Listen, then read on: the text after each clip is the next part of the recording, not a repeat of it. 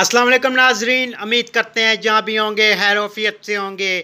As a مسلم یہ میرے لیے فخر کی بات ہے کہ میں مسلمان ہوں، مگر اس سے بھی زیادہ فخر کی بات تب ہوگی میرے لیے کہ میں اگر ایک حفظ قرآن بنوں۔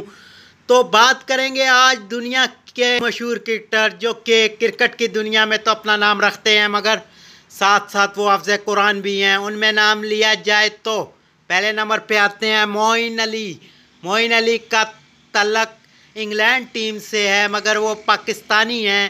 اور اس کے بعد دوسرے نمبر پہ سعید اجمل۔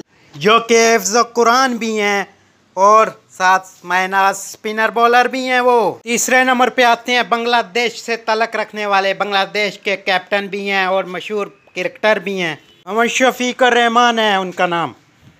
اس کے بعد محمد رضوان۔ محمد رضوان بھی مانے ہوئے پلیئر ہیں جو کہ پاکستان سے تعلق ہے ان کا۔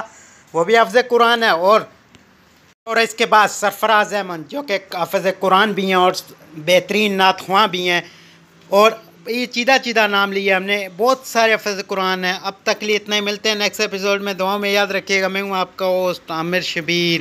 ایسی ویڈیو دیکھنے کے لیے ہمارے چینل کو فالو کیجیے۔ گا اللہ حافظ۔